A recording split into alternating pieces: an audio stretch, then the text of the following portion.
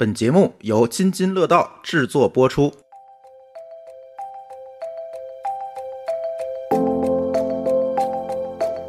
咱研究研究满哪儿咖啡是怎么发的家。忽然有一天，我应该第一次知道这个品牌，不是说我喝了他家的咖啡，是先从媒体的报道和造势上我知道的这家咖啡。情绪价值给满。那我要搞一个反工业化，但是结果是工业化，那它会把人异化成工具和机器的。我满足不了这个不可能三角，那怎么办呢？我的屁股要坐在哪一边呢？甚至说，资本的回报里其实掺杂着你个人的欲望，在发生矛盾的时候，你该怎么去处理呢？那这是不是一个新时代的宿命呢？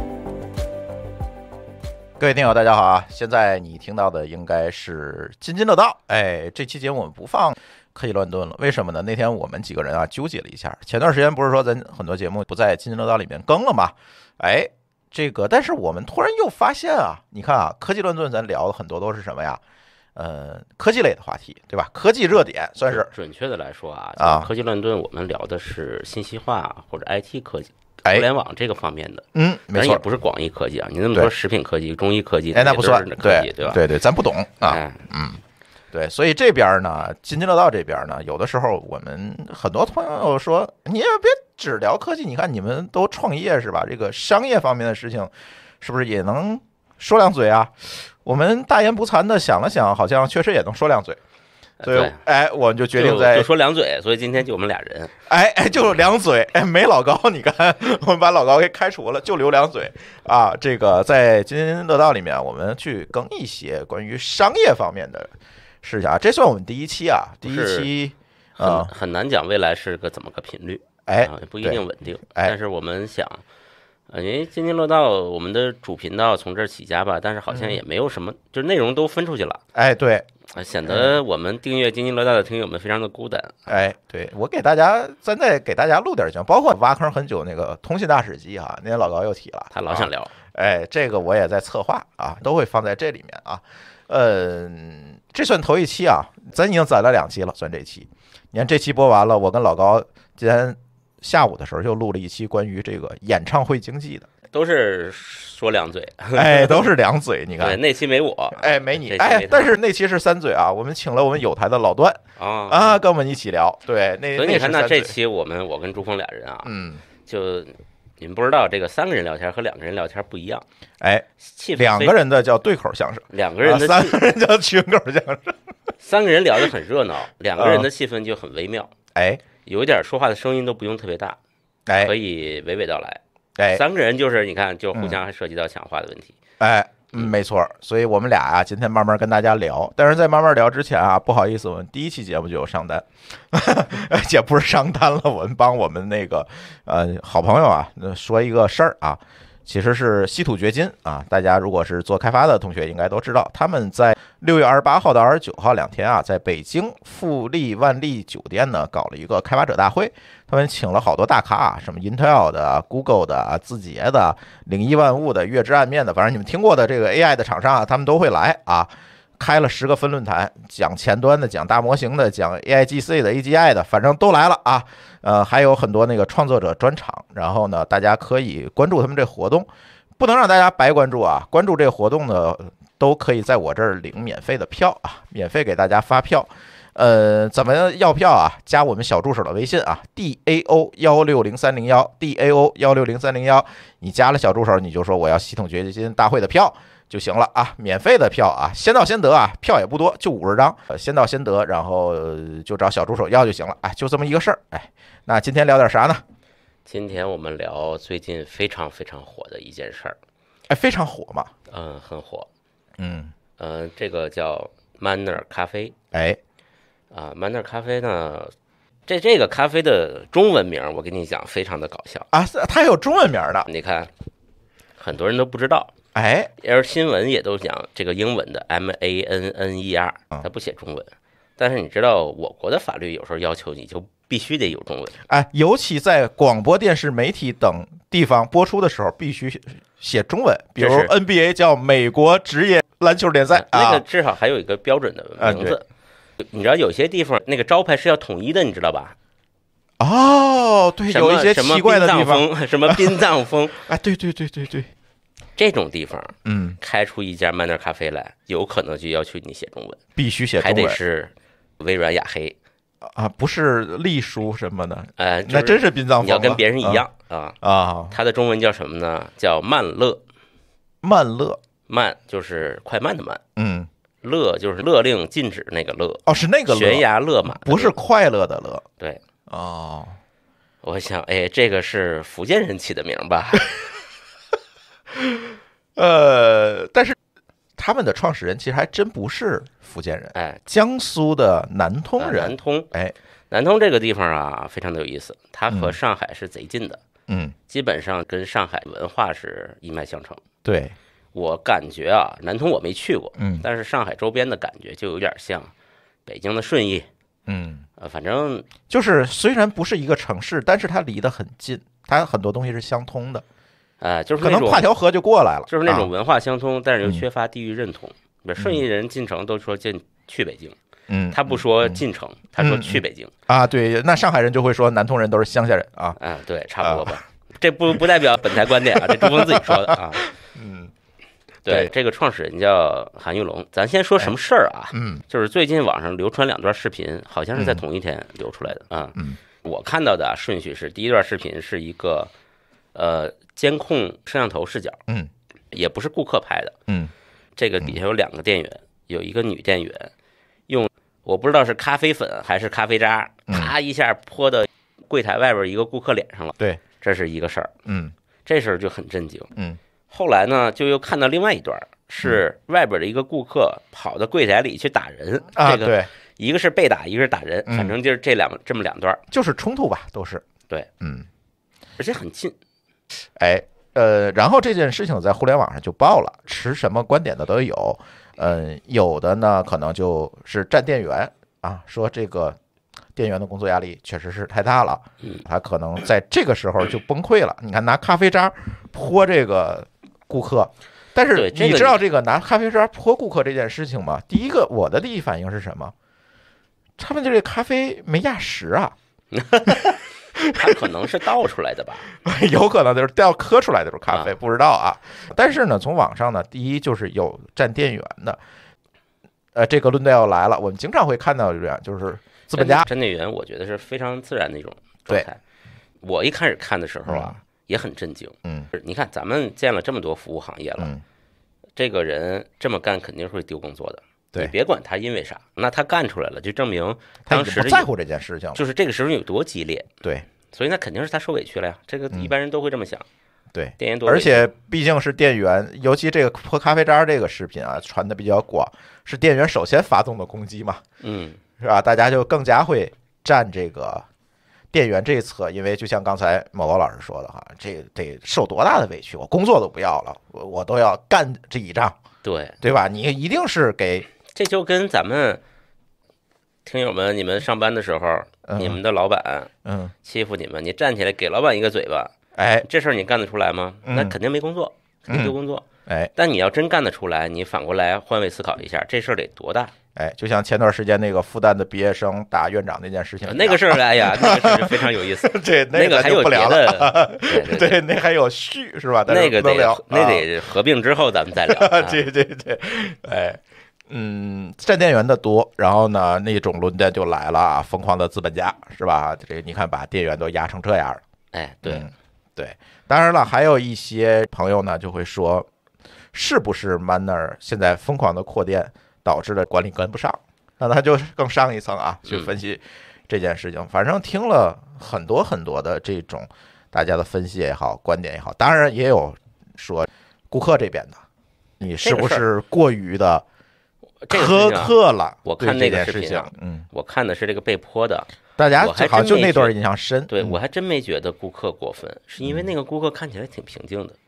呃你看他被泼了以后，嗯他也没有冲过来。你看，你知道我的第一反应是什么？嗯他面前柜台上一片的杯子、瓶子，嗯那如果急眼了，我全给你葫芦地下去。啊，那个顾客完全不动手，对，就是在那儿讲。嗯，我觉得靠嘴，对，还是咱们嗯很上海人啊，上上海人民非常的文明，对吧？哎是，所以特别好，嗯，幸亏不是东北。这你瞅啥？呃呃，这反正有各种各样的观点吧。然后呢，网上这件事情呢，就争论比较大，各种奇底又都出来了。所以我就说跟某个老师咱俩聊聊啊，这个 Manner 咖啡，咱研究研究 Manner 咖啡是怎么发的家，怎么起来的。因为在此之前，说实话，我跟某个老师一样，不知道这个品牌。但是突然有一天，我应该第一次知道这个品牌，不是说我喝了他家的咖啡。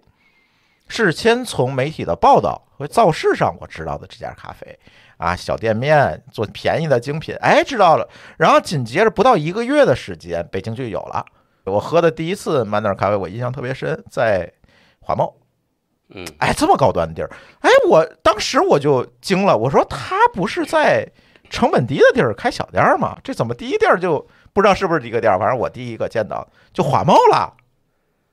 这个可能他是这样啊，呃，不同的连锁嗯。在进入北京的时候，嗯。会选择不同的姿态，嗯。有的时候会延续他在比如说其他的城市，嗯。呃上海、广州或者其他的二三线城市的那种以呃微店大园啊，农村包围城市，嗯有的时候呢要快速建立一个形象，嗯，他就选那最高级的地儿，哦设精品店这，是你听到的对吧？你知道我听到的是什么吗？嗯，华贸那个地儿，你会看见所有的拿到投资的连锁商业品牌在里面都有店。那是那都是投资人是吧？对，因为他们的投资人都在那个楼里。这个事儿让我想起了一个非常搞笑的事儿，呃，百度上面不有广告吗？这个咱都知道对吧？嗯。比如说我是一个厂商，我在百度投了广告，嗯，百度会干一个什么事儿呢？定向，悄咪咪的把我的办公室出口 IP 收集走，嗯然后呢，只要判断是我的人，我这儿的办公室的人去访问百度，他把那个我自己投的广告展示给我看，啊，这时候老板就很高兴啊，哎，你看有效果。老板打开上班的时候打开一百度一搜，哟，看见我们公司，看我们市场部做的不错，嗯嗯，一天到晚全是我们子公司广告。甚至是市场部跟百度的人配合干的这件事。市场部是一定是默认的嗯啊，他们可能也知道这个事儿，嗯，否则这 IP 怎么收集的呀？对，啊，然后这个就很高兴。这个事儿呢，再往前是谁干的呢？分众传媒。对，呃 江这南太熟了分的分众传媒。对，分众传媒在每个写字楼里都有电梯里的屏幕，嗯他把写字楼里的人投的广告全投在你脸前。对，这个事儿呢，我也不知道这些广告主们到底是内心深处愿不愿意接受，反正是情绪价值给满了。对，这不是同一个故事吗？哎，扯远了，扯远了，咱就说回 Manner 来。哎，这个 Manner 可以简单给大家说说，算是发家史吧，但是这不带褒贬啊。今天我们提 Manner 这个事儿没有任何的褒贬啊。刚才呃某高老师说了，这个品牌创始人呢叫韩玉龙，我一查这个名儿啊，我就乐了。你知道为什么吗？跟小宇宙的 CEO 名字就差一个字儿。哦，小宇宙 CEO 叫舒玉龙。嗨，哎，我说这哥俩，哎，不对，姓儿不一样我。以为你要说罗玉龙呢。嗨，然后这哥们儿啊，既不是学咖啡的，也不是学食品的，这哥们儿你们猜是学什么的？嗯学兽医的。啊，他大学毕业之后呢，先接触到的是摄影，嗯，一个典型的文青，哎呦，真文青。是吧？而且摄影往咖啡拐好像挺正常。挺正常。你看，一般都会，哎，摄影玩一玩呢，哎，紧接着可能就会研究研究咖啡。但是这哥们儿研究的深，咱不得不说啊，人家一研究就不是说，哎，我浅尝即止，不是，人家去甚至去上了很多咖啡学院的这种学习班儿啊，哎，深度的了解了这件事情。然后这两个事情呢一凑，哎，说不行，我回老家江苏南通啊，我开个咖啡馆儿吧。你看，这又是文青要爱干的事儿，是吧？他这个太文青了，你知道咖啡馆叫普罗旺斯，嗯，我的个妈呀！那年可能是回到普罗旺斯那哎个书正火的那应，该是什么时候呢？二零一二年，大家可以去查一下啊。然后呢，这个咖啡馆特别有意思，他把他的两个爱好啊给凑一块儿了，嗯，摄影和咖啡。哎，结果呢，这个店就变成了摄影主题的精品咖啡馆。挺好。其实你看挺好说的它有摄影能够传播，对吧？因为那时候互联网也起来了，也能传播，然后很快就把自己个店儿做成一个网红店儿。但是啊，嗯你看看那是哪年？二零一二年，二零一二年，实际上我们还没有网红店这个概念，嗯可能在某一个地方小有名气，啊，但是它没有那么多可以在网络上爆发的这种外扩的这种动能这种能力量没有。没有。对，而且呢，江苏南通其实大家也知道，刚才某高老师说，虽然它文化相同，但是它并没有说，哎呀，咖啡在那儿也能卖得很好。对对，这种情况呢，其实一直在困扰着他。南通没有这种咖啡文化，这个店儿呢，与其说是一个网红店儿、咖啡馆儿，其实更多的是他自己的摄影工作室，他可能会接一些摄影的活儿啊，这些店里，反正就是一个维持的状态。对，讲到这儿，大家可能形象中就是一个瘦的，嗯留个长头发，扎个辫子，嗯，扛着摄影机长焦哎，相机的一个人。你别说，我看他照片还真有点像，但是没有这么长的头发，嗯但是确实是瘦瘦的那种文艺青年。如果嗯沿着这个方向讲下去的话，下一步他应该到达大理，哎，没想到他去了上海，嗯，就证明他还是想还是做生意。生意人。我觉得长三角这一代的同学们真是挺牛逼的，这些人都是生意人，他愿意往生意机会更多的地方走。哎，不是南通没有咖啡文化，上海总有啊，对吧？对上海，我去上海，然后他去上海第一件事没有开店，他先应聘了一个在上海开店的一个德国的精品咖啡店品牌，他在里面啊当了一年的烘焙师。这个咖啡店叫呃 C A F E，那个 E 有个撇儿。嗯 D E 不管怎么样吧，大家知道这个叫这个这这个怎么读？cafe 还是 cave？不知道。就是这个词儿啊，哎，我们有请狗叔帮我们读一下。对，就是简单的普及一下，就是如果你这个店叫 coffee，嗯，它就是卖咖啡的；哎，如果叫 C A F E 这个，我也不知道怎么念啊嗯，它就是卖简餐的。哦。啊，所以它才会有烘焙师，这个，OK，是小餐馆的意思。但是它不是咖啡的烘焙师吗？难道？那，不一定，它是小餐馆，哦。它里边可能会卖三明治啊、卖简餐啊、意面啊这种玩意儿。哦，这个是大家在外边找着店，如果看这有两个区别，嗯，可能都翻译成咖啡馆，明白了卖的，东西不一样。明白了嗯。嗯，那反正他在这里干了一年，但是呢，一直还是想自己开店。对，嗯，很执着。一年之后，他确实离开了，自己开了一个店。嗯，这个店就叫曼德尔咖啡。他啊找了一个非常小的店面，啊，就是一个街边儿。你大家如果经常去上海就知道，他经常一个店拆成两个店这么开，这边卖大饼油条，那边可能就卖咖啡。哎，他就找了这么一个店儿，就两平米，弄了一个外卖窗口来卖咖啡。这个特别像那种日式的风格，是吧？有个布帘子，对那个布帘子，然后反正我给你打咖啡嘛，对吧？啊？他那首家店现在网上还能搜得到，还在，是一个蓝色的棚子，对是吧？那家店还在。嗯但是他这次我觉得做的特别好，他吸取教训了。你看生意人，我觉得还是挺厉害的。他吸取教训是什么呢？当时他那个摄影主题咖啡馆，他有经验教训。当时太高举高打了，就是文青范儿，对吧？对我估计咖啡它也不便宜，精品咖啡嘛，它都有自己的逼格和定位，对，是吧？这个客单，价太高了。这可以插一下。其实嗯我们在北京也有好多这种精品咖啡店，嗯单店的。对，这些单店咖啡呢，一般都在七八十块钱一杯，嗯，喝不起。这个这嗯个水平。当然了，一会儿可以讲讲我，因为我过去还前两年写了一篇 blog 啊，啊专门讲两种咖啡的区别。哦，你还喜欢这个后边可以跟大家说说。嗯，但是这种店呢，确实是，呃，活得比较苦。你看它逼格贼高，嗯。但是他一你去那儿喝一杯咖啡，跟你要七十块钱，甚至还有两三百的，就是看豆子嘛。嗯，你如果是咖啡爱好者，你一个月去一回，你就觉得心疼，对吧？对，谁会日常当当这个？他不会当这个口粮咖啡喝。对但是往往街边儿上卖的所谓的口粮咖啡，什么巴啊啊，什么迪呀啊，什么杏啊，嗯，可能有很多对咖啡有一定追求的人又觉得它太 low，对他这个 Manner 可能找到了一个找到了一个平衡点，嗯就是他做的是什么呢？叫以快餐价出售精品咖啡，嗯我便宜啊，一杯咖啡我十块钱、十五块钱，我自己带杯，它还能减免。那这个减的还挺猛，对，一开始减五块，据说某个老师那天去采访，现在变减十块了对，啊真！的是。我刚才问他，我说要不我卖你俩杯子吧，你给我二十嗯块钱，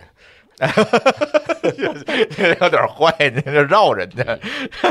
呃，但是果然啊，在上海大家吃这套，因为上海人民大家众所周知，对咖啡还是有一定追求的。对这块儿可以插一句啊，就是我在店里蹲着看了一会儿啊，嗯，自带杯的人非常多，因为他捡的钱很多，嗯，而这个自带杯这个动作，呃，很微妙，你感受一下，就是当我带着一个杯子去下楼，嗯去买咖啡的时候，我不会再去瑞幸或者是什么地方，我杯都拿好了，我都带了杯了，对我一定去他们家，对对，这是一个反过来增加了粘性。哎，像是一个消费之前的，我们经常学这个消费心理学，一个仪式感的一个构成。对，就好像你说我去逛超市，嗯，我带了一个大购物袋儿，哎，那我现在难道拐弯儿去喝个咖啡就回去吗？我袋子都带了，那我一定得去一趟了。，对，就是这个感觉。哦，有道理。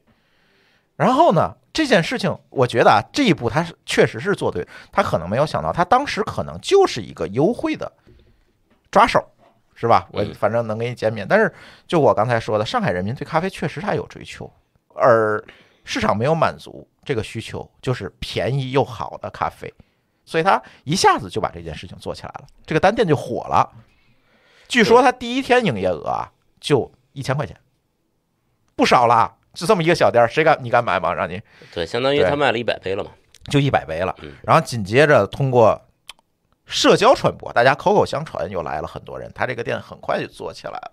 后来他又开了很多店啊，他选址特别谨慎，就是足够小、足够便宜，最好就是这种街边店，而且旁边最好还有别的咖啡店跟我对标。哎，旁边是个星巴克啊，或者旁边有一个其他的精品咖啡，我对标，大家一看，哎，这十块，那个三十，他这个其实我觉得哈，嗯就是他当然他总说他是精品咖啡啊哈，啊、他的咖啡机嗯和瑞幸显然不同。对，呃，瑞幸是为了效率一键啊，出咖啡啊，但是瑞幸里头也不是雀巢那种玩意儿啊，嗯，人家只不过把里的流程化了。对，然后他这个咖啡机和星巴克是一类的，嗯，好像牌子都一样，嗯，就是那种你打完粉，嗯。到那个碗里拧一拧，压一压，哎然后装上去，嗯，一摁，哎，它出咖啡。哎，你这北方佬就是不明白这个东西叫什么，这个啊叫半自动咖啡机啊。，对，就是说半自动，然后摁完了出一小杯，对吧？嗯，然后桶灌进去，哎，然后还要拉花。嗯，拉花呢，它为了解决这个拉花问题，它上面那个盖子都设计的是透明盖儿。嗯，你看星巴克那是白的，哎是吧？星巴克给也给你拉，你看不见。嗯，人家那透透明盖儿盖上，挺像那么哎，回事儿。能看见它。对啊但是我跟你讲，它好喝不好喝呢？不好喝，啊，是吗？你觉得不好喝吗？跟星巴克一样。如果你觉得星巴克你是不是买错了？就是你觉得星巴克好喝呀，啊，那它就差不多。哎，那你应该是不是有点问题？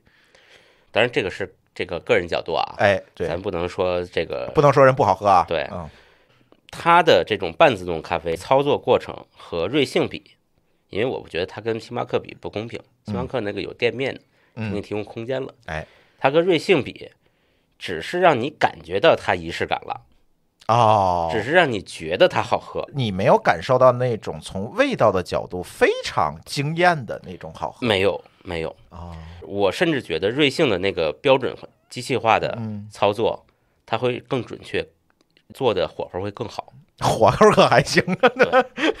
嗯。它这个的因为粉是手压的，嗯，可能有松紧不同，反正做出来以后，我没有觉得有什么区别。它比较依赖于咖啡师的操作。因为它半自动的那部分就是装粉，嗯，对吧？你对装粉这个东西肯定有不同，对，装粉压粉，对吧？所以我是觉得啊，它就是让你显得不一样，啊，让你感受着，哎，半自动的、手工的好喝。嗯，但是嗯你你把这事儿都挡着眼睛都挡上，你盲测一下，也就那么回事儿。哦，OK，这是你的观点是吧？但是我之前啊，我有一段时间还经常喝曼德尔，嗯，我是明显的能够区分出来曼德尔的味道确实比瑞幸肯定是要强，它的运行的差别是什么？嗯它的粉放的多，浓是吗？它浓它的咖啡因更重。？OK，瑞幸呢，可能是为降低成本啊，弄一点豆儿，它它多。哦，嗯，所以它做出来那咖啡上面那个油嗯，看起来比瑞幸要厚。嗯瑞幸那个浓淡特别像星巴克的冷萃，就是那种很透亮的感觉。对对，但是它这个浓，哦，这我下次可以去比较，比如我都要一杯那个浓缩，啊，哎可以比比看啊。是吧？哎，反正啊，咱再说回来，他这个创业史啊，他这一下子他其实就火了，那咱就扩张吧，咱就开店吧。但是当时其实也没啥钱啊，他们呢就勉勉强强的吧，开了三家店，啊，开了三家店，基本上挺慢的，一五年到一八年，一五年到一八年，一年开一家吧，嗯，啊，才开这个三家店，基本也就是靠着大伙儿口口相传，就在上海就火了嗯啊。这三家店，反正周围的白领啊什么，基本就不会选择什么星巴克呀之类的，甚至当时流传出来一个传闻，叫什么？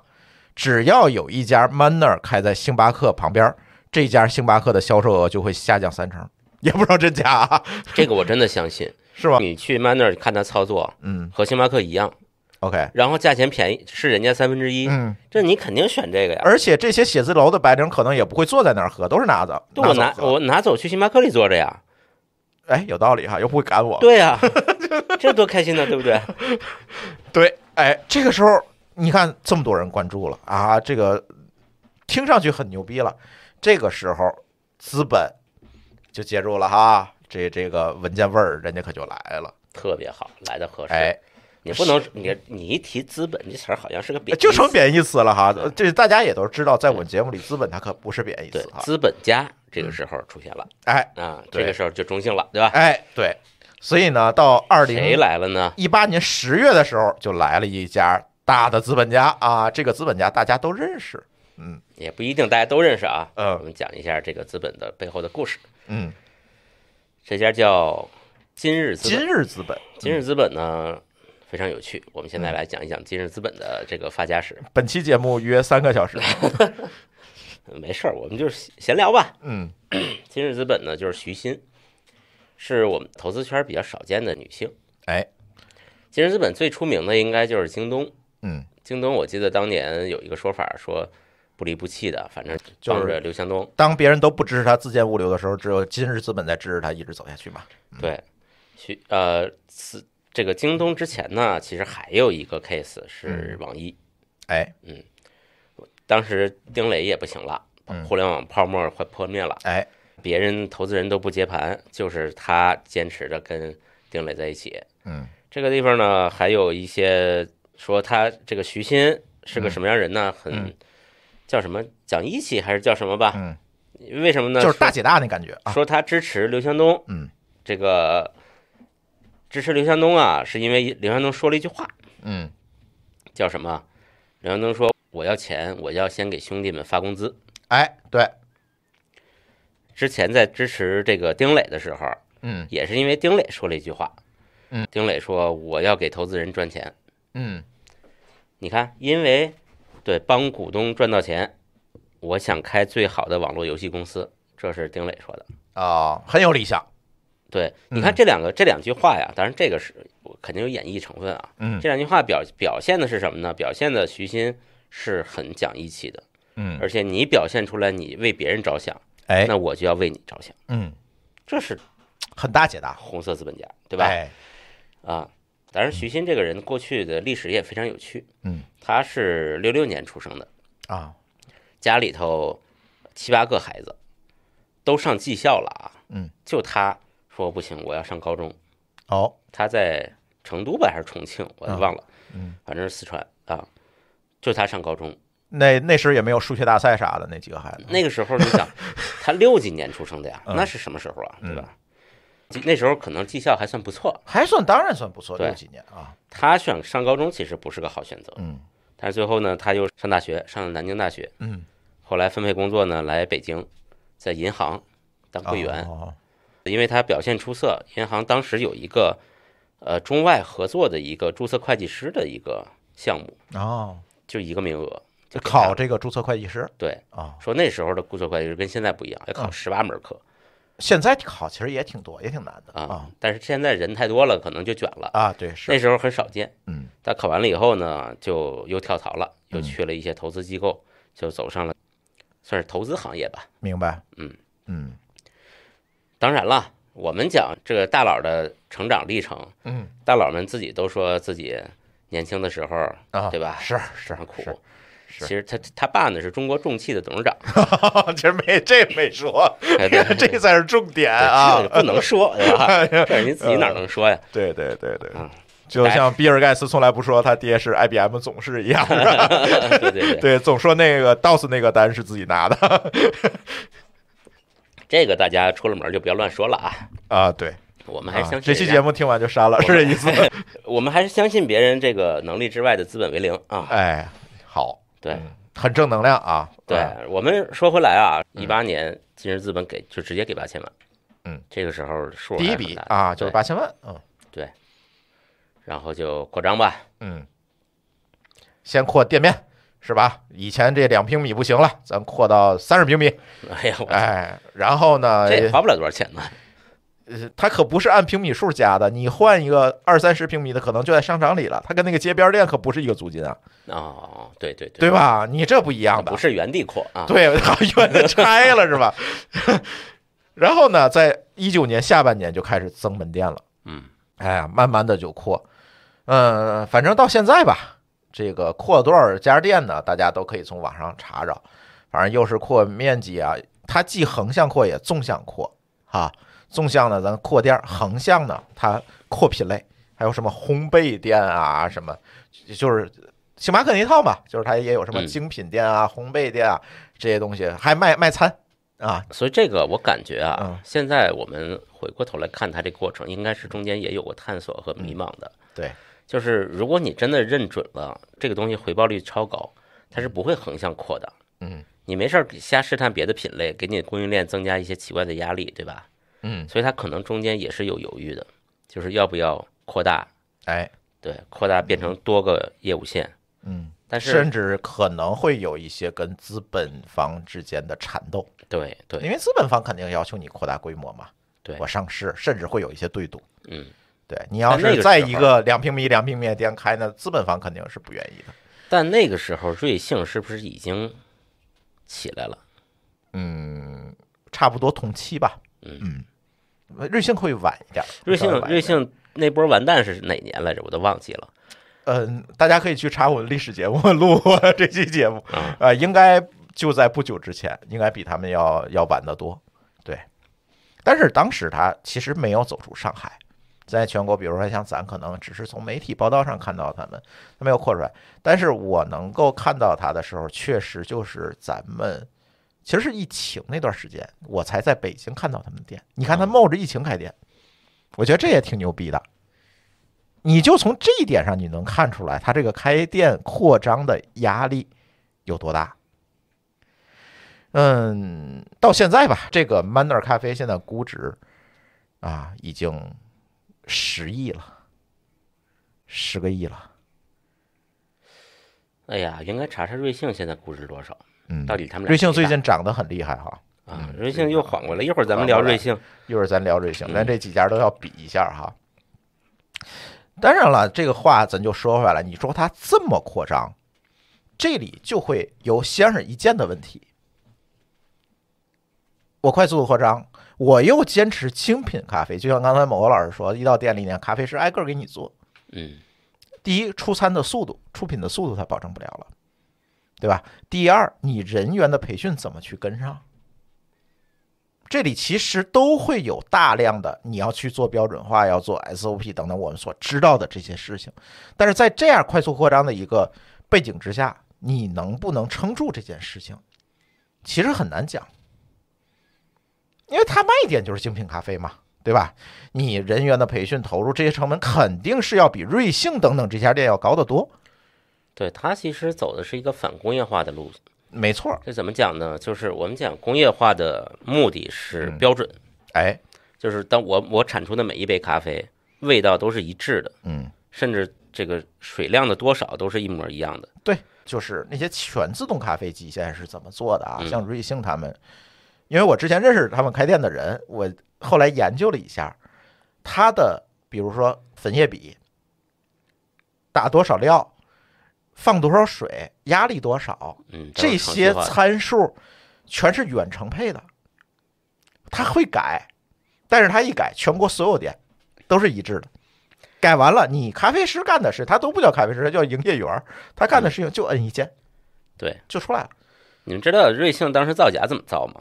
嗯，就是靠这个功功能。哎，对，瑞幸当时这么干，其实大家如果常点瑞幸的话，就记得它有一个单子，那个单号是累加的，一二三四五六七八，可能加到七八百都能。嗯，比如说这一天单太多了，他又从一开始加。对，他当年造假的时候就是跳，嗯。从一，比如说下一单就是七了，嗯。再下一单二十五了，再下一单三十六了，嗯，这么跳。多记账了吧，就。对，嗯。然后人家这个做空的机构怎么弄呢？就跟着门口蹲着看，嗯，然后你卖了十倍，然后捡那票去，一看票到二百了，嗯，你你不就是假？做假？了吗？对。对，是这样。就是但是它是全自动的它，是一个全远程管控的。嗯，但是瑞幸这种呢，就是标准的工业化路线，哎，它呃 Manner 呢找到了一个反工业化的路径，这嗯个意思是说，我还是要保证结果的可控。嗯，因为结果可控是消费者想要的东西，是，但是从感情上不太好接受。嗯，那我要搞一个反工业化，但是结果是工业化，哎。那它会把人异化成工工具和机器的。哎，就是那个这全自动咖啡机的活儿呢，人来干。人来干。对。对，所以它的对对员工的培训其实要比瑞幸强强度非常大，大要求也高。对，嗯，但是你要你要让人来保证像自动咖啡机一样精确，哎这基本做不到，这个时候这个人，你注意啊，这个人他是有情绪的，他要疯了，嗯，他要破咖啡粉了，是吧？所以这一天他一天可能也卖不少杯啊，曼那儿的客流量还是挺大的。他这么去做，一杯一杯的做，你一天一杯行，两杯行，我可以带着笑脸，还能跟他要求还要跟那个顾客聊两句，他是有这个要求。他聊两句的话术都是 SOP，对他要求还得聊两句，但是一天你做三五百杯，你最后就异化成打螺丝的了。对，就是电子厂打螺丝的了。所以我跟你讲我去采访的过程啊，我哎跟你说，那天特别有意思嗯。我们说，我们来聊一聊 Manner 的这个事儿吧。哎，我就哎，我楼下有一家啊，嗯我，就溜达高级写字楼，嗯没有人啊，首先没有人，啊，为什么这不知道呀。隔壁是轰轰的，隔壁就是瑞幸。啊？这个我坐那儿，看来北京人民真的对咖精品咖啡不太买单啊。对我坐那儿跟他聊，我我站那儿，我说我来杯咖啡，然后坐，我就跟他说，我说你最近你们挺火呀，嗯，他说嗯，最近出了一把名儿。哎，我当时就在想，这个有点意思。嗯，Manner 咖啡出了这个舆情事件，嗯，对于店员不是坏事儿。嗯，如果他是靠卖东西提成的话，嗯，现在知道了，是一个营销行为，嗯，那这个事儿对老百姓来说呢，也喜闻乐见，大家还八卦一下。吃个瓜，这事儿也不知道谁倒霉了，好像没人倒霉。可能就泼一身咖啡那个大姐有点倒呃霉，对，那那个大姐承担了所有。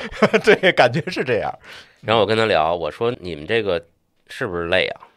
嗯，他说是，嗯，真累。然后他主动跟我说啊，他说你看我们这店就我一个人，真哦，他一家店就是一个人，就一个人。他这家店什么什么规模那？瑞幸人都比他多呀。瑞幸隔壁四个人，对呀，他他贼清楚，啊你知，道吧？我说你们这店就就你一个人啊？嗯他说对啊，你看我从所有的连搞卫生、嗯，带搬豆子、带做咖啡都是我。我去，隔壁瑞幸四个人，他他跟我说，你问问他，你为什么不去瑞幸呢？那这个我后来来别人了，我就没问。这这是聊到这儿，嗯然后我就看这个店的布置啊，嗯，它不像瑞幸是，瑞幸是门口厅里边简单给你放几个椅子，你愿意坐就坐。反正不舒服哎，对，然后瑞幸是呃很乱的，嗯，对吧？桌面上你看我们楼下那瑞幸特别特人特别多啊，嗯桌面上常年五六十杯在那排着对，侧面就是垃圾桶，嗯，而且那个大号的那个室外那种超大号那种，嗯，对，但是呃，Manner 不是，Manner 的垃圾桶我观察了，在柜台下边儿藏得很深，嗯，他把外边打造的非常干净，是那种很精品的样子。嗯嗯，OK，二十个座位，嗯，这一个店，啊，七个摄像头，七个摄像头盯这一个人，五个盯他，另外两个是盯店。无死角，三百六十度，我他妈这哪是三百六十度啊？这么一千三。百六十一度，对，这个盯他的五个摄像头里边，嗯，三个固定的，两个泡泡的。还能转的，对我仔细观察了，他的动作完全没有多余动作，嗯他就是比如说现在那个人不多啊嗯，他做咖啡，他就一直在擦东西，啊一直在擦，啊擦完里头一会儿从里边出来了，啊，呃，擦还在收拾收拾擦啊摆摆椅子，然后回去又开始擦里头，那就是一个机器人啊，一个工具人啊。对，在这个摄像头可能还有点人工智能之类的东西的监督之下的工具人。嗯，然后我跟他聊天啊，我说你这自带杯，你这杯子值十块吗？他说不是，我们为了环保，我们倡导环保的理念。我操，这个特别屌，我们倡导环保的理念，所以我们希望别人自带杯，所以自带杯就五块。我当时特震惊，我没见着自带自带杯能省十块的对，啊！当然我是点的是用他的杯啊，嗯然后我又问说你们这豆儿是有可选的吗？他说哎，你看我们选的，我们默认是这个豆儿，你也可以换成这个豆儿。嗯，加钱。嗯，加钱他倒没说，嗯然后我就在那站在侧面，能看着咖啡机里边，我就看他给别人做，嗯，呃，动作很快，很熟练，嗯，磨豆摁两下，这个转一下，摁一下，嗯拧上，然后噗呲噗呲，这跟我天天早上在家干事没什么区别。对，这套流程跟，反正我觉得比星巴克的快，嗯啊，星巴克还人多了还还手递手呢，对啊这个真的是从头到尾，就一个人干嘛，完全星巴克不可能是一个人嘛。对，星巴克人多，那你没问问他这个待遇怎么样？没问，没来得及。嗯，我这就嗯有一些话没好意思问。嗯，比如说你为什么不跳槽呀？啊，你这能挣多少钱啊？之类的，没好意思问。嗯，但是给你的感受是什么？我的感受就是，我觉得网上有很多评论说的是对的，嗯，这个太压抑，嗯，太压抑了。就是你知道，干活这个事儿啊，嗯。一个人和两个人是有质变的，质变的，对，因为两个人他像是在一个团队，嗯，是他有社交，嗯，一个人你就是纯干，哎，而且这个纯干过程中，你知道上面有五个摄像头在盯着你。嗯你不能有多余动作，你不能说哦，今天没人，我坐会儿，不行，有可能不行啊。但是，咱这个不知道人家具体的制度。嗯，然后来了顾客了，你要强打着精神去想回回忆你那个标准话术。对，他标准话术一定是说，他穷举一下顾客可能问你的问题，嗯你怎么回答？对，一个人的这个压力挺大的。对，对，嗯，但是今天我做这个提纲的时候，我在想一个事情啊，一定会有听友来问，他扩了这么大多家店，而且这些店似乎都越扩越贵，比如像你这个高级写字楼里，是吧？或者刚才我说在华贸里面，在这种高级的商场里面，那他难道不能继续扩？坪效非常高的两平米的小店儿，我都开小店儿，全国开三万多个两平米的街边店儿，是不是也行啊？这个可能跟城市有关系。嗯北京的话，我恐怕没有这样地方。嗯北京你能开出街边小店儿的地儿，没人喝咖啡，嗯，都是城乡结合部。啊，对 对，这个我做了一下研究，我发现这事儿好像还真不行。我觉得投资人的这个尽职调查是不是有点问题？他是不是会觉得高评效这件事情可以复制啊？后来发现复制不了，为什么？上海是一个非常非常非常特殊的市场，特殊在哪儿？它可以向没有上下水的门店发卫生许可证，嗯，这在很多地儿是解决没有的。你别至少要有上下水，我才能给你，你这地儿才能做餐饮。我觉得这不能叫上海的特殊，我觉得这是上海的发达之处。啊，对，那么这这发达也叫特殊嘛，就是跟其他地区比，对，既然没有上下水的店，嗯人家可以保证他自己的卫生质量，对那你为什么不发证呢？对实际上是可以的，上海至少给你打了样了呀。是，但是他就是不行。所以当他在全国扩张的时候，他发现这个方法不 work 了，提高评效的方法不 work 了。那既然平效提高不了，我又不想降低我的咖啡的水准，不想做成瑞幸，对吧？那唯一一个可以卷的，好像就是咖啡师了。嗯，这件事情到最后好像是，你既然要撑高估值，要上市，那似乎你能干的事情也只能在咖啡师和人效上。注意啊，是人效不是平效了。这个时候在人效上去卷，所以就造成了我们现在看到很多的 Manner 的店，就是一个店员，有大一点是两个，我是没有见过更多的。它确实好像在这些连锁咖啡店里边，它的人力成本确实最低的。嗯，对，因为它只能卷这一侧了。嗯但是有另外一个特殊的点，我嗯在哪儿听到的，就是它的豆子成本也是最低的。为什么呢？这就是我刚才跟你说的那个点，嗯，他只是假装我自己是精品，他在哦表演一个精品咖啡。那他是从一开始就这样的吗？我相信不是，对啊，不然的话，他一天就第一天就卖了一千杯，我觉得那些人也不会是傻子，尤其是在上海。对，这一定有一个转折点，嗯，那是不是就是资本进来之后的这个转折点？这就赖虚心。哎但是，哎，有但是这里必须要说但是，对，嗯，你说吧，其实今日资本，我现在我们没有办法证实或者证伪，在这个过程当中发现了什么。但是呢，有一点是可以确认的，在中间，今日资本居然退出了。哎，你们知道，今日资本投的项目基本没有说半途我不干我走，他只能他一般都是往里追，继续往里跟。对，但是我不跟了，我走了。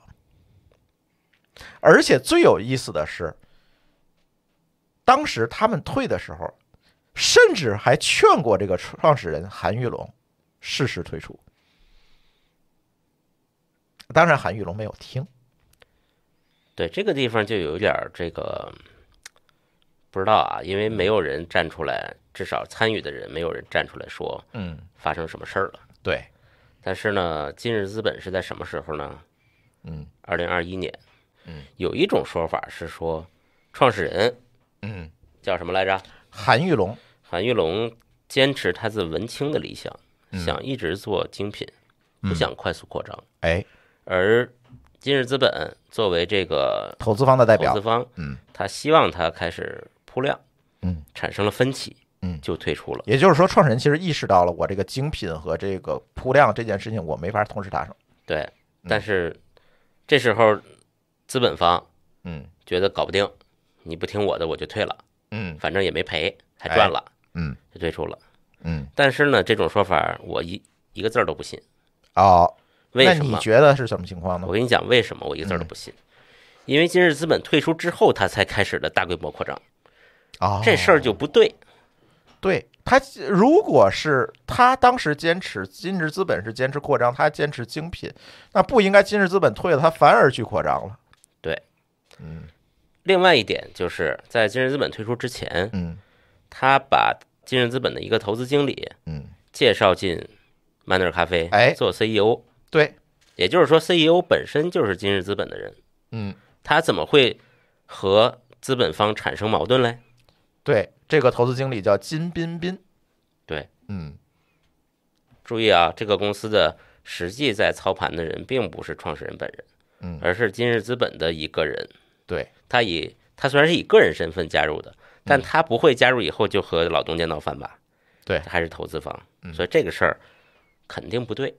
嗯，那我们看今日资本为什么退出，这儿引一个岔头，哎，非常有趣。嗯就是今日资本投资徐新有这么一个风格，就是他是朋友圈融资，哎，他投谁，完了以后就拼命的在自己这些投资人朋友里去介绍这个项目，嗯引人进来，嗯这是他的一个风格。嗯那他这次引了谁呢？好几个，哎什么 H Capital 嗯不知道，嗯这个 Culture 不知道，嗯淡马锡知道，哎淡马锡是新加坡的嗯新新加坡的国资，嗯对龙珠资本反正也不认识，嗯。大概就是他们都投过非常多的明星项目，什么钟薛高呀，什么叮咚买菜喜茶 Keep 呀，哎作业帮啊。对，大马西那就不提了，对吧？嗯？然后，今日资本在这个咖啡这个 Manner 里边的持股比例嗯，比创始团队都高了。这个时候是二零二零年底。对，注意啊，马上他要退出了啊，嗯年底的时候还增持了。哎然后，二零二一年吧唧走了走了，嗯赚了。赚了嗯，因为他把朋友圈的人拉进来，把这个估值推高了。对，哎，我再讲找下一轮，我走了呗。对，嗯所以啊，我据我个人分析，嗯这个今日资本在退出的时候，嗯退出这件事儿嗯和创始人一毛钱关系没有，嗯。他们之间并没有矛盾，嗯。而且已经开始扩张了。嗯。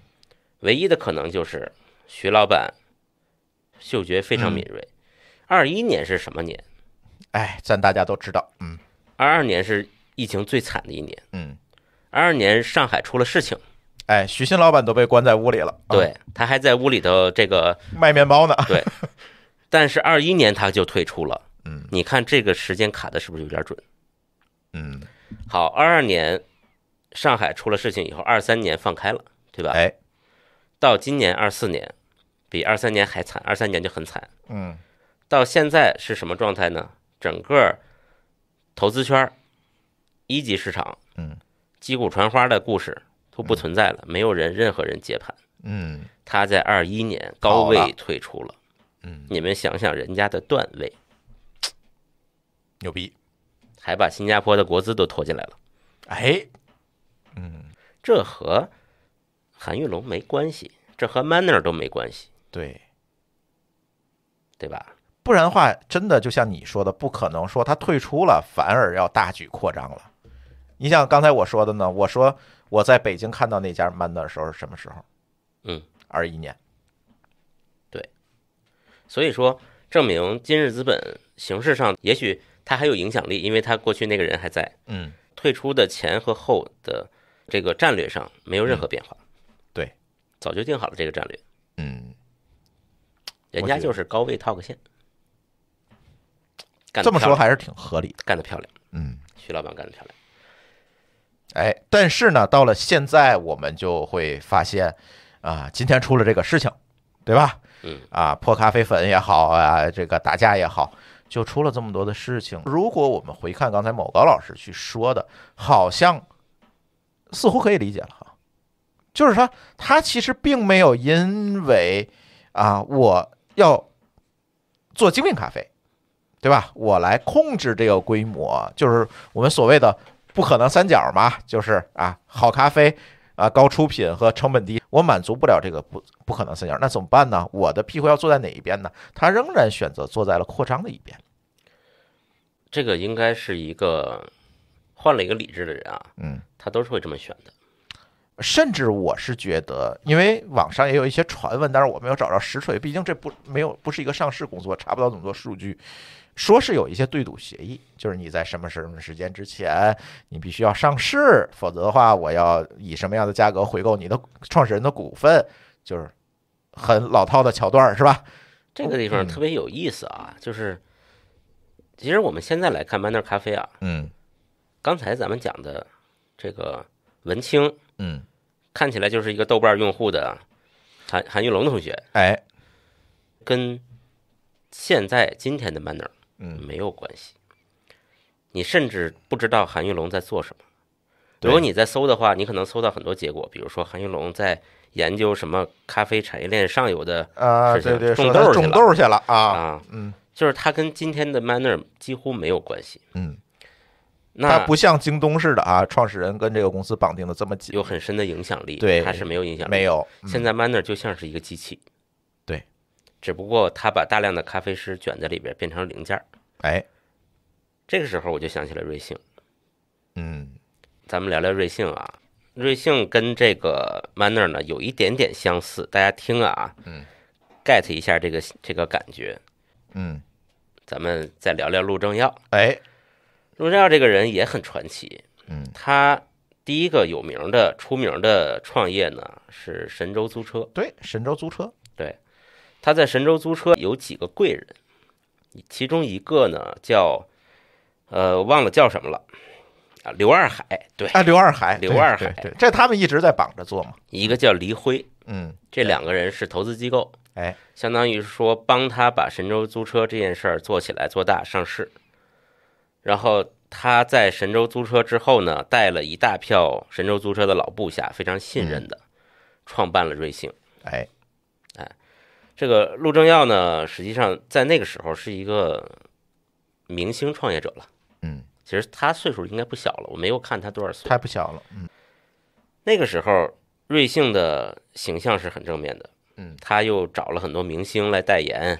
我记得这个他那个 CEO 一个女的叫什么？那个钱之亚，嗯他 CEO 是钱之亚，是原来他在神州的老部下。嗯，当时他就讲一句话嘛，就钱之亚讲的，像资本讲的故事，就是说，你看，如果每一个中国人都对喝咖喝咖啡实际上上瘾，这是多大的市场？嗯，这一下就哎，把美国人就说明白就了点燃了呀。啊，对，所以上市了。上市以后呢，没想到嗯出了那个造假的丑闻，就刚才哎咱们说那个，不管是单号也好，很多嗯配套的，是造假，然后被人家这个做空机构发现了，哎，爆出来了，开始还不承认，最后没办法不承认。你看把证据都剖出来了，对，这时候呢，为为什么我们讲这个造假？因为这个到现在也没有说他是怎么造的，嗯，或者是陆正耀跟造假有没有关系？嗯但是我跟你讲有一个背景，就是刚才说了，他那个黎辉和刘二海是他的嗯知遇之恩哎的第一桶金的嗯投资人，对他们关系非常好。嗯但是这个瑞幸被爆了造假丑闻之后，财务假丑丑闻之后，就切割了，这俩哥们儿嗯是动作最快的。对，但跟跟我没关系啊，对啊，嗯你们想，如果陆正耀跟这事儿没关系，都是钱之亚自己干的，哎，这俩哥们儿跟他关系这么好，怎么能这么切这么快呢？对，怎么跑这么快？这就是事实上已经说明了，就是你陆正耀自己干的。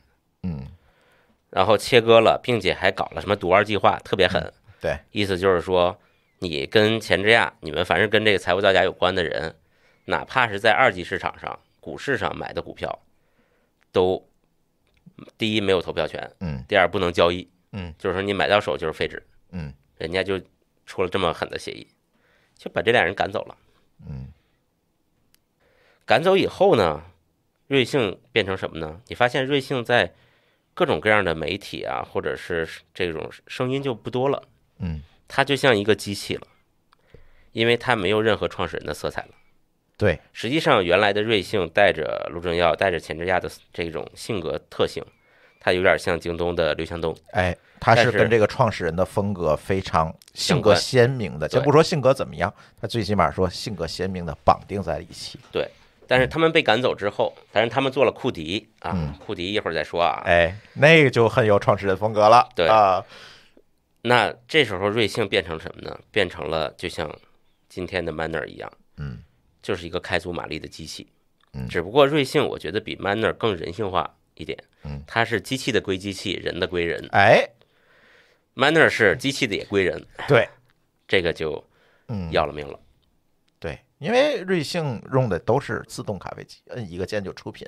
第一个是瑞幸自动咖啡嗯机，第二人家人也够啊，对啊，没有说我没见过哪个瑞幸店就一个人的我也没见过瑞幸店有七个摄像头的，啊，对，瑞幸店我我看也就一个，一两个吧。嗯，啊，你像我公司楼下那个瑞幸店哈，两个，有时是一个，肯定是那个去吃饭去了或者上厕所了，两个人，嗯，而且因为我写字楼没有这么高档，我楼下那个瑞幸到周末不开，哎，人双休，对，特别好。哎，特别好，对，但是你看那个 Manner 没有，我没见过任何一个 Manner 说周末不开了，我反正没见过，对，这就是一个人的异化，异化成机器了。对，这里边我最嗯。不爽的点，嗯，就是他把人异化成机器了，他的产出又没有机器那么好，而且服务为为什么服务呢？是为他表演精品来服务。嗯。他不是说我真的能做一个比人家好很多、嗯，有显著差异的东西，那差异小到你忽略不计。对然后甚至说这个差异会带来负面效果，对因为他人的效果一抖动，可能还不如那机器出的好喝的。对，你就是为了一个仪式感，嗯，跳大神儿一样，哎前摇特别长，嗯这个前摇还是规定动作的，对，这个事情就有点儿，我觉得没有意思，嗯，我准备要抵制它。你继续继续往后说，哎、对。说到这儿啊，可以给大家过一过这个精品咖啡店的兴衰史。呃，这件事情怎么说呢？精品咖啡店这个东西呢，我还稍微有一点点了解啊。呃，我第一次接触这个叫所谓的精品咖啡店啊，国外我不知道啊，但是第一次在国内接触到，其实是在上海的二零零八年，嗯，有一个朋友干了这么一个精品咖啡店，这个咖啡店呢叫 NAP 咖啡，N A P 咖啡，这个创始人啊，我们科技乱炖的朋友应该都认识，老一点的都认识。这得太老了，我对这个创始人呢是 HiPDA 的站长，叫朱怡。我都不知道他是哪俩汉字。呃，我也不知道，其实因为他啊每次写都写这个拼音。其实跟 Manner 一样啊，也是在特别小的一个店里，也是那种街边店，啊石库门那种啊。呃，进去之后它有二楼能上去，我还特意去过。我告诉你，我没敢上楼，怎么呢？那个环境巨灵异，它不是那个灯火通明那种黑了咕咚的黑了咕咚的啊，啊那种小店儿，然后上去，据说那个上去之后，那天他是没开张还是怎么，我也不知道。据说上去之后非常有调调，倒是啊很有调，但是我没敢上去啊。嗯，他这种这种大家可能就是能想象那种氛围。哎，嗯，对，是有一个小的调调那种氛围，但是毕竟那是二零零八年嘛，对，大家注意啊，这种店的氛围就是一定要带这个皮绳的围裙、哎，鸭舌帽，最好是还有圆眼镜。马上这画面感就出来了，对，就是那样。而且而且它嗯它的屋里的一个偏暗黑墙，然后木质的桌面，就星巴克那种木质桌面，对就整体调调要偏暗才行。嗯这都是精品咖啡店的特点。精品咖啡店，别管咖啡豆怎么怎么样，哎，反正价钱卖上去。人家豆儿也有故事啊，人是从世界各地精心挑选的嗯，啊，说每一杯咖啡背后呢都有一个故事。而且很多咖啡豆呢，来自隐秘的中美洲的小农场，只有特定季节才能采摘到 啊，，这是我觉得它是因为它这个时间啊太早了。太早了，它这是哪年？零几年？零八年，对，嗯实际上到今天啊，精品咖啡的概念已经比较普及了。嗯，我顺便给大家讲讲这个精品咖啡店和咱们快餐连锁的区别哎，在哪儿呢？它的区别主要在于说，呃，精品咖啡嗯，它是主要以手冲为主，为主，嗯，它更强调的是说，哎，你能不能喝出来我这个豆儿里风味强调的不同的风味？嗯它有点像香水儿，嗯，哎，什么前调、中调、后调。哎，如果你能把这个风味喝出来，这是一种乐趣，一种趣味。嗯，我觉得是一种呃小众的，不是特别，但是我圈子里边的人大家能 get 到的那种小小趣味。嗯就有点像红酒啊之类这种东西，对。嗯。但是这些人对咖啡因的追求不是很强，嗯。因为这种烘焙的咖啡豆儿都是比较浅的，嗯，它那个咖啡因没有特别出来。析出没有特别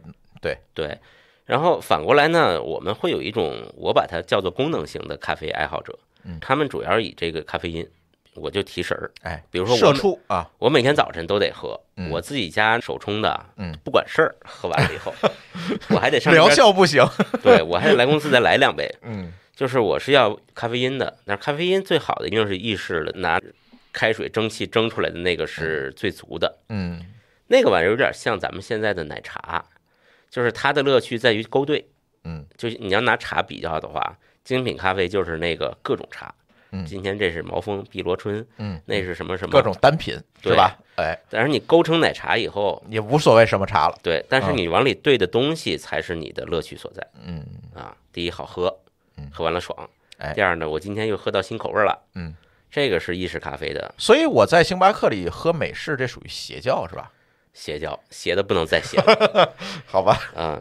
美式咖啡呢，实际上你看人家美国主要是那种滴漏的壶，嗯或者是手冲嗯，这种比较淡的咖啡，但是意式咖啡特别浓，嗯，所以意式咖啡你不兑东西啊，你直接兑水，嗯，它就变成现在那美式了，但是味道又不是特别对，嗯，但是我现在也喝美式，对呀，就有一种我没有在喝，在呃有一种健康的感觉，有哎，对对对，反正里头没料嘛，对吧？对对对嗯嗯嗯，所以为什么现在包括 Manner 啊都选意式？它的点就是在于意式咖啡是一把把那个咖啡豆都榨出来，对，快，效率高，然后它全选那个深烘的贼深的，嗯，一致性很强。对，因为你手冲那个玩意儿啊，你每一批豆子每一次冲都不一样，手法都不一样，对，爱好者还可以，嗯但是你对于比如说我就是想喝一杯，那么今天就酸了，嗯明天这个味儿，后天那个味儿，哎，预期不一致，对，嗯，呃，我之前我记得我写一个 blog 写过了，就是星巴克给你的点就是，你就算到了非洲，你进一家星巴克，嗯，你瞬间就感到跟你们楼下一样，哎，也能破味儿，回家了，对，就是回家了，嗯装装潢，呃，摆放那个你说这跟麦当劳没区别，对，什么连连咖啡味儿都是一样的，嗯，就是这个劲儿，一出国想家了就吃个麦当劳是吧？对它就是营造这个氛围。嗯，所以这两拨人就是两拨消费者，真的不一样。对，所以那个 Nap 咖啡最后也没做下去啊。除了创始人兴趣转移之外，他后来又做什么那个有机食品啊之类那些东西去了。嗯，嗯，但是我觉得主要原因还是那个豆儿太贵了。其实这特别贵的豆儿，就像你说的，它没有办法当口粮咖啡喝呀，三四百一包的豆儿。我别说三四百一包了，啊我喝过三四百一杯的。你看那一杯啊十五克豆儿，十五克，那比咱们什么中国的那个碧螺春什么可能都贵了。嗯，但是我这真的没有喝出来什么特别的，我也可能咱这嘴不行。我可能最贵喝过六七十的，我也没喝出特别。所以这种消费不是常态，哪怕你是在上海。对，我再给你讲一个例子，这是我全程见证的一个精品咖啡店。嗯，我们家里有老人的可以去打听一下，这个店叫鱼眼咖啡。嗯，创始人呢跟我很熟啊关系非常好关系特别好，所以我就不黑他了。但是我见证这从一家店开到一片店啊，也是拿到了钱嘛，复制扩张，然后到最后一家店都没有，到现在的这么一个过程。他当年啊在哪儿呢？在这个三里屯儿开的他第一家店，三里屯儿哦。嗯，但是那个时候三里屯儿北区不是南区啊，北区甚至是北区还没火，太古里，就是太古里。太古里得多贵啊！当时不火，三里屯刚做起来的时候还不火，那阵儿酒吧街都还没没没清退呢，啊，那阵儿不火，所以那个时候给他的房租不高，他就在那个角儿那儿开了一家鱼眼咖啡。嗯，然后呢，嗯，他也是坚持这个精品路线。这创始人是从 Apple 出来的，嚯，从 Apple 出来的。好嘛，Apple 出来的人，我跟你讲，花钱一流的。Apple 中国零售店就是他一把手给带起来的。啊，不是大别吧？哎，不是，那那是那是靠羊毛的，对。然后呢，他就选择了把自己的店开到了 Apple 零售店的旁边，三里屯嘛。然后呢，一家店呢开的时间其实挺久的。为什么开的久呢？是因为三里屯一直没涨房租，啊，因为它一直业态没有起来。当后来业态起来的时候，涨房租等等这些问题出来之后，这个扛不住了。就扛不住就撤了。然后呢，沉寂了一段时间，后来也是跟上了这波风。一八年啊，这段时间这股风，哎，也是拿着了投资。啊，投资人我也认识，也很熟。啊，还跟咱录过节目，就不说是谁了。然后呢，投的钱，大量的扩张，他当时走的也是好喝的精品咖啡，啊，啊，这样一个噱头。但是它跟 Manner 有一个最大的区别，我不便宜，那他真更毁了。我跟你说，这就是拿精品这事儿啊，真当精品了。哎，这一下子就更毁了。我跟你们讲啊，在座的听友们，你们要做咖啡啊，你得学 manner，嗯，你得不能把自己骗了。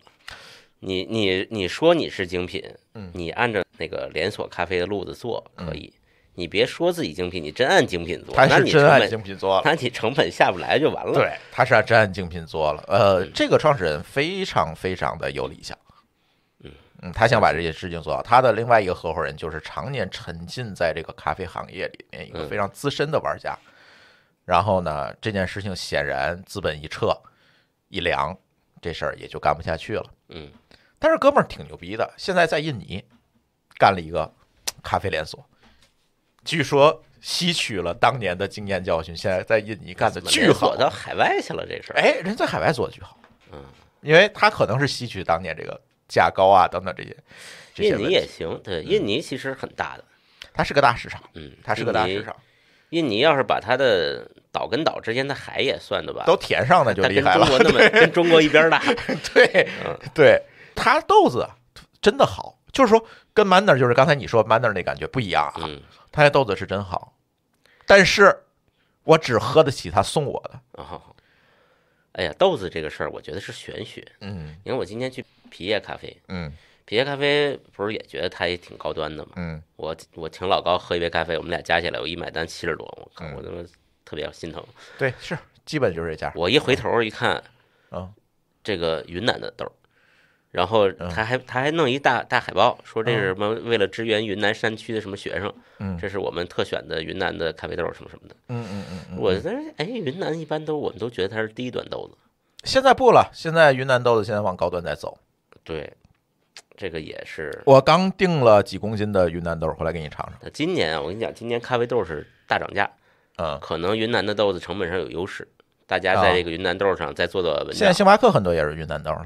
嗯嗯，哎，再说回来，精品咖啡啊，反正这两个精品咖啡给我的感觉就是你刚才说的，要不然咱咱扩张，咱放弃那个精品的理想，要不然咱就开一家店，当个生意做，当个生生意做。你看我公司楼下那家咖啡，我就觉得我特佩服他们家，嗯他就一家店，叫半半咖啡，天津的朋友应该都知道啊，那家店，台湾老板自己在店里烘豆，自己在店里卖咖啡，都是那家店，晚上烘豆，白天卖咖啡，那天天的，哪怕是工作日都能坐满。夏天现在外面搭个棚子，大家在太阳底下喝，他是做的是真好，就是你真能喝出口感来的那种。他扩张不了，他不扩张，他也扩他很清楚因为就他一个人，对，就是一个人一个店儿，干的也挺好。但是你就别把这俩混在一起，那就掉到了 Manner 今天这个坑里。对，既要又要了。对，既要又要还要，所以这事儿也没有办法吧。其实精品咖啡还有很多了，咱今天时间有限啊，就不赘述了。什么，呃，阿拉比卡、阿拉比卡，就百分号那个，对吧？我也喝过，呃 M，M Stand，对吧？这些其实有很多，但是现在我们查了一下他们背后的数据啊，啊，活的都挺难受的。说实话，对我，我还是那个句话，我其实七九八这地方，我没事儿中午就在那儿逛啊。哎，你马上暴露哪是都是哪个公司的了啊？都有，嗯对，但是我真没觉得这个所谓的精品咖啡啊，到底嗯超出多少？喝不出来，嗯，喝喝不太出来。尤其阿拉比卡，我是喝过好多次，我都没喝出来。这 M 你也喝不出来，嗯我还觉得他杯子比别人小呢。是小哎 M 的杯小，对，就生气啊。对，是。哎呀，所以呢，今天聊来聊去，最后还是创始人的故事。你要有情怀，我们都说创始人要有情怀。你包括徐新投的这些项目，你看都是创始人很有情怀的。嗯，这样确实是是你创始人一个特质。你没有这个特质，确实作为投资人呢，确实也不太敢投。比如我现在换位思考，如果创始人说啊，我就是做个生意，就这样啊，就挣这些钱，你投吗？我可能真不敢。对你作为创始人，这事儿你得演。嗯我跟你讲啊，你得跟投投资人表演的你有情怀。哎，投资人也知道你他妈是在表演，嗯，但是他也不他得有你他也不戳穿你。对为什么呢？你都愿意豁出脸来跟我演了，嗯，你也就证明你其实是有诚意的。对，虽然是你在演，嗯你要是真的啊，嗯，我还不敢投了，哎，你精神不太正常。对也有这个问题。对，所以，嗯哎呀，另外一个话题啊，你看咱们刚才说库迪，对吧？嗯嗯，提到库迪了，就是没有往下说，哎咱可以说说库迪。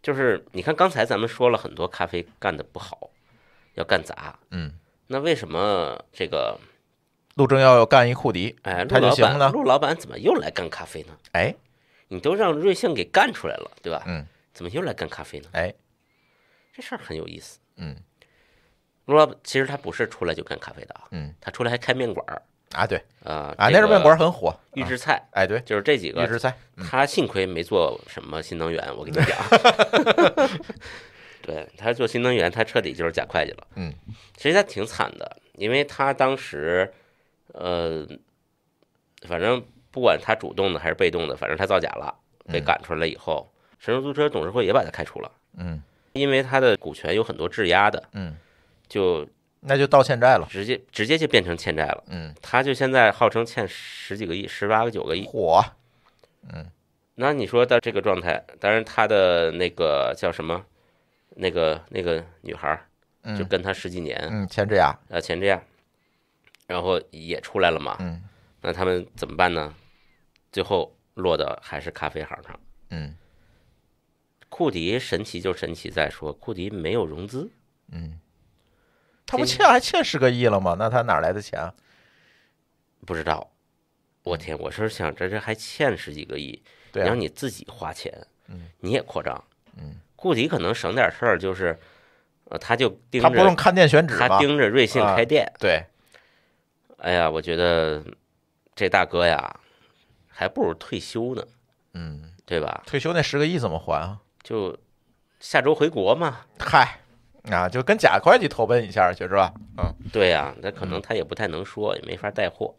哎，哎，反正我觉得他挺惨的啊。嗯，这个库迪呢，是你典型的刚才说的创始人，就是咱们以前说过啊，企业文化就是创始人文化。哎，库迪还真是他的文化。哎，这咱们看过那库迪拉那条幅吗？啊，对，那是我亲眼见过的。这条幅什么呢？就是库迪开在瑞幸隔壁，哎，对吧？并排两个门脸儿。嗯，库迪那儿拉一个横幅，叫“瑞幸创始人嗯九块九，请你喝咖啡 对，没错儿，人说也没毛病，”，是没毛病是。瑞幸创始人啊，但是你有没有感觉这个这种小心思、小把戏？是吧？哎，这个小把戏就是处处露着这家公司的小，嗯就是小，嗯这就是这个人，嗯，这个老板的小，风格，就是他的小。嗯那这话说回来了，曼娜这两个录像是谁放出来的？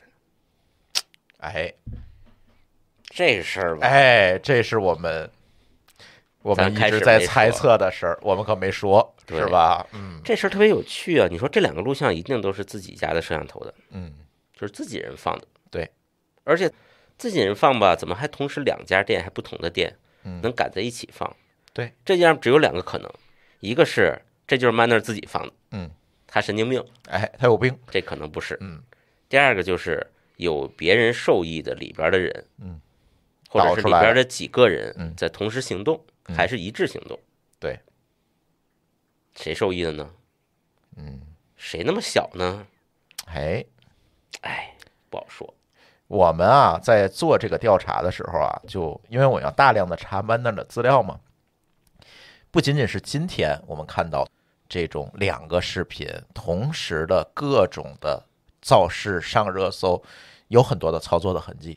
嗯，把这件事情放下不说，我们看之前，我们居然搜到了大量针对 Manner 的黑稿，哦，没爆出来，没有火。通发的黑黑稿，就是那种发通稿，你知道吧？就是各个媒体，我给你钱啊，一发发八十多个媒体，长得都一样。长得都一样那种，嗯，通发的黑稿，大量的，就甚至污染了我的搜索结果。我想搜嘛，嗯，就是好多都是这种。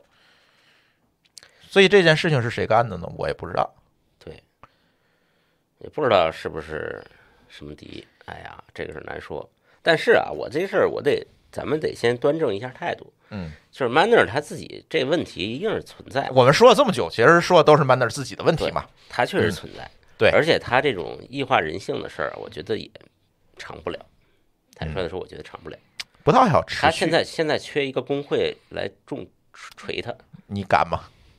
那就你敢成立工会？这个等中美合并吧。你中美合并又跑京津道合并来了。我们呼唤，我们呼唤大洋彼岸的工会来锤一下这边的资本家们。哎，是现在也没有特别好的办法，也没有特别好的办法，所以还是回到我刚才说那句话，有的时候创始人真的你要在资本和情怀之间找这个平衡，资本的回报，甚至说这个资本的回报里，其实掺杂着你个人的欲望嘛。我要把这个公司上市，我要怎么怎么样，我有我个人目标在里面。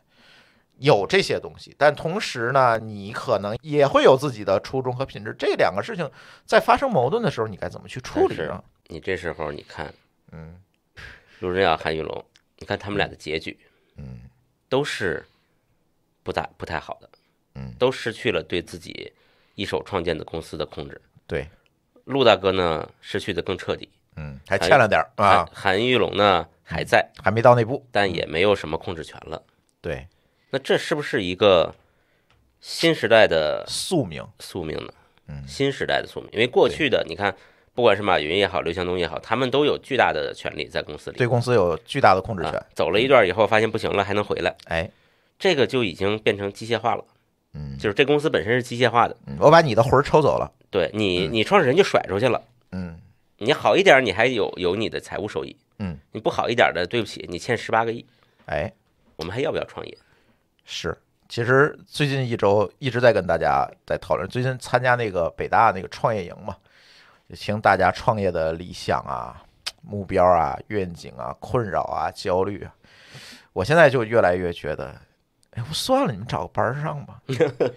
我现在是这么想的，嗯刚才这个问题，我觉得要还是可以创业，嗯还是要创业，嗯但是呢，我们有一个底线，底线就是你要善良。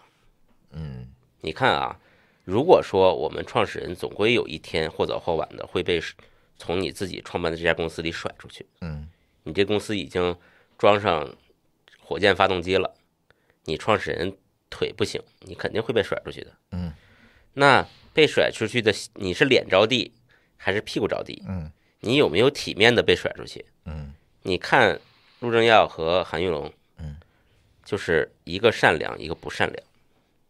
嗯，那个作假了，他就脸着地了。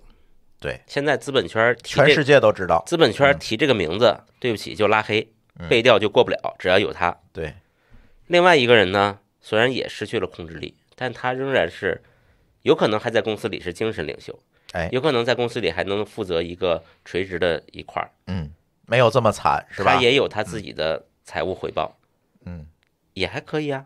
是，所以要善良，我觉得要善良是底线。嗯，至于要不要创业，这个看自己的能力或者是性格。对，或者是市场现在的状况吧，对对吧？对嗯，行吧，给大家分享分享 Manner 的故事。嗯我们也没什么结论，最后我们说啊，操作痕迹有点大，对，有点大。过程中我们也提了不少别的人，大家有兴趣可以跑一跑他哎，再去们的故事。跑一跑他们的故事。如果希望我们讲呢，在评论区给我们留言吧。而且关于这样的节目形式，你们爱不爱听，也欢迎反馈给我们，我们看要不要多录一点啊。这些故事呢，我们还挺多的 啊，看怎么讲，好吧？嗯，行，那我们的这头一期啊，跟大家就聊到这里，欢迎大家的反馈啊。那再见，拜拜好。嘞，拜拜。感谢您收听本期节目。本期播客节目由津津乐道制作播出。你也可以在我们的官网 d a o 点 f m 找到我们的更多内容作品。如果您喜欢我们的节目，欢迎在微信、微博、朋友圈等社交媒体转发分享。您的分享对我们而言十分重要。如果您希望与我们互动，可以关注我们的微信公众号“津津乐道播客”，天津的津，欢乐的乐，道路的道。在关注后按提示操作即可加入我们的听友社群。